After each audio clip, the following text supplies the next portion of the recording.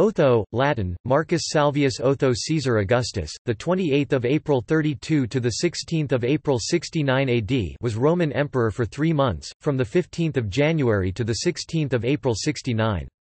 He was the second emperor of the year of the four emperors.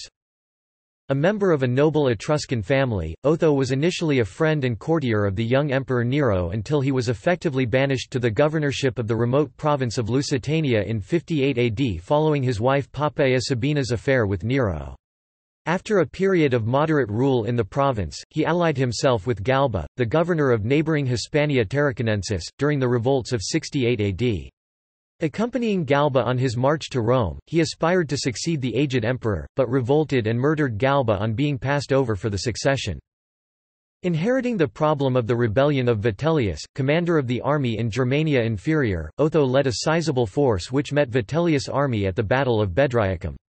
After initial fighting resulted in 40,000 casualties, and a retreat of his forces, Otho committed suicide rather than fight on and Vitellius was proclaimed emperor.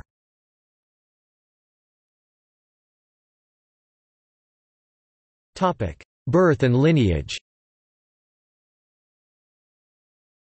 Otho belonged to an ancient and noble Etruscan family, descended from the princes of Etruria and settled at Ferentinum currently Ferento, near Viterbo in Etruria.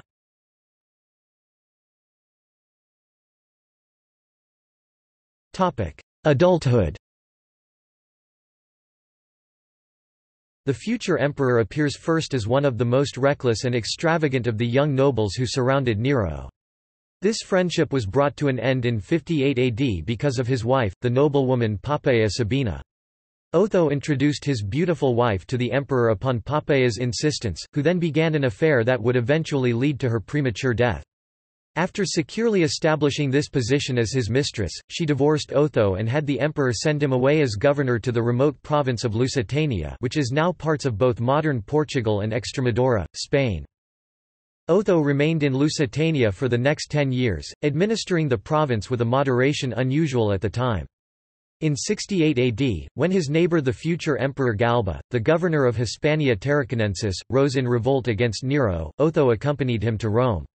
Resentment at the treatment he had received from Nero may have impelled him to this course, but to this motive was added before long that of personal ambition.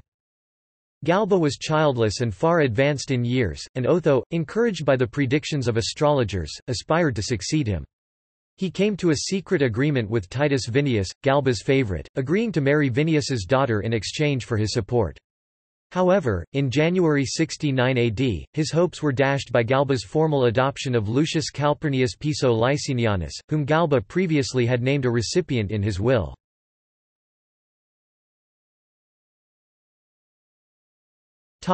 Overthrow of Emperor Galba After this, Otho decided to strike a bold blow. Desperate as was the state of his finances, due to his previous extravagance, he found the money needed to purchase the services of some 23 soldiers of the Praetorian Guard. On the morning of 15 January, only five days after Galba adopted Piso, Otho attended as usual to pay his respects to Galba, and then hastily excused himself on account of private business and hurried from the Palatine Hill to meet his accomplices. He was then escorted to the Praetorian camp, where, after a few moments of surprise and indecision, he was saluted as imperator. With an imposing force he returned to the Roman Forum, and at the foot of the Capitoline Hill encountered Galba, who, alarmed by rather vague rumors of treachery, was making his way through a dense crowd of wondering citizens towards the barracks of the guard. The cohort that was on duty at the Palatine, which had accompanied the emperor, instantly deserted him. Galba, his newly adopted son Piso, and others were brutally murdered by the Praetorians. Titus Vinius tried to run away, calling out that Otho had not ordered him killed, but was run through with a spear. Cornelius Laco was banished to an island where he was later murdered by soldiers of Otho. Icelus Marcianus was also executed. The former commander of the Praetorian Guard Tigellinus was obliged to commit suicide. The brief struggle over, Otho returned in triumph to the camp, and on the same day was invested by the senators with the name of Augustus, the tribunician power and the other dignities belonging to the Principate. Otho had owed his own success to the resentment felt by the Praetorian Guards and the rest of the army at Galba's refusal to pay the promised gold to the ones who supported his accession to the throne. The population of the city was also unhappy with Galba and cherished the memory of Nero. Otho's first acts as emperor showed that he was not unmindful of these facts.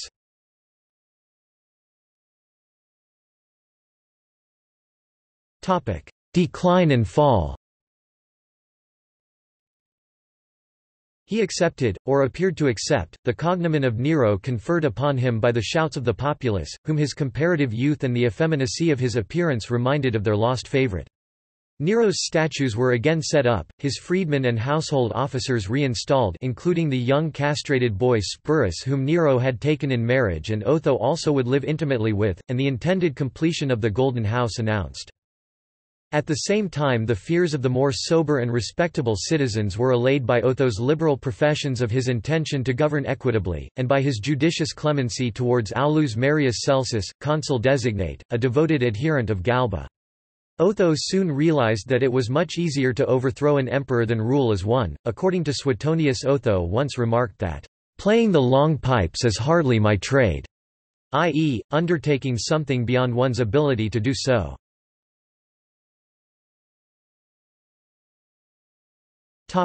War with Vitellius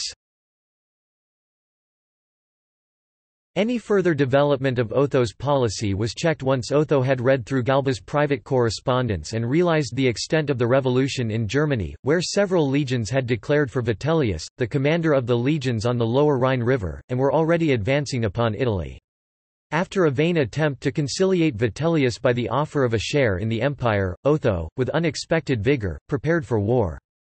From the much more remote provinces, which had acquiesced in his accession, little help was to be expected, but the legions of Dalmatia, Pannonia, and Moesia were eager in his cause. The Praetorian cohorts were in themselves a formidable force, and an efficient fleet gave him the mastery of the Italian seas.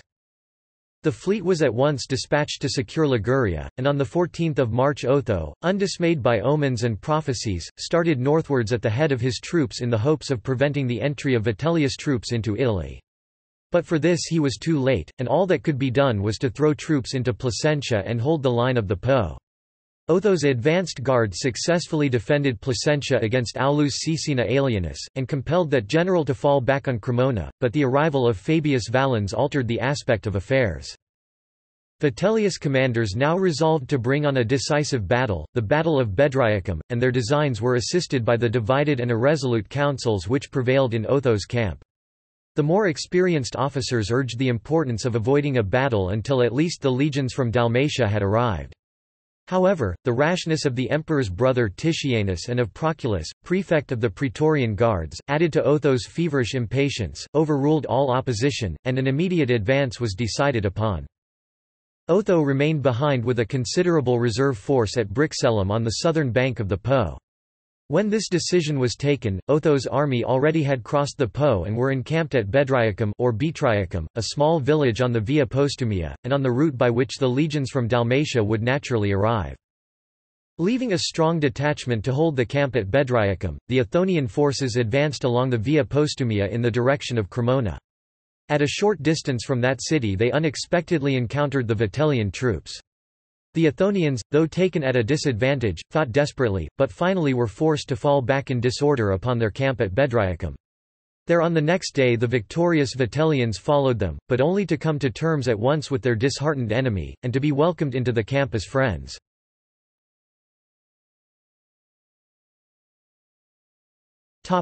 Death More unexpected still was the effect produced at Brixellum by the news of the battle. Otho was still in command of a formidable force, the Dalmatian legions had reached Aquileia and the spirit of his soldiers and their officers was unbroken. He was resolved to accept the verdict of the battle that his own impatience had hastened.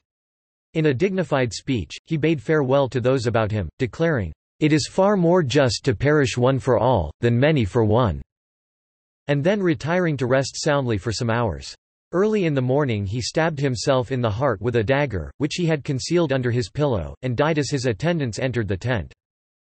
Oh, Otho's ashes were placed within a modest monument. He had reigned only three months. His funeral was celebrated at once as he had wished. A plain tomb was erected in his honour at Brixellum, with the simple inscription Diis Manibus Marci Othonis. His 91-day reign would be the shortest until that of Pertinax, whose reign lasted 86 days in 193 during the tumultuous year of the five emperors.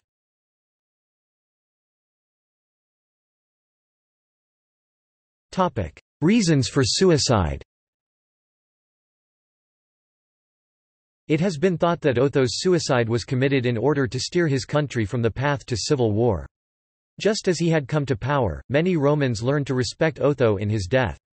Few could believe that a renowned former companion of Nero had chosen such an honorable end. Tacitus wrote that some of the soldiers committed suicide beside his funeral pyre, "...because they loved their emperor and wished to share his glory." Writing during the reign of the Emperor Domitian AD 81 the Roman poet Martial expressed his admiration for Otho's choice to spare the empire from civil war through sacrificing himself.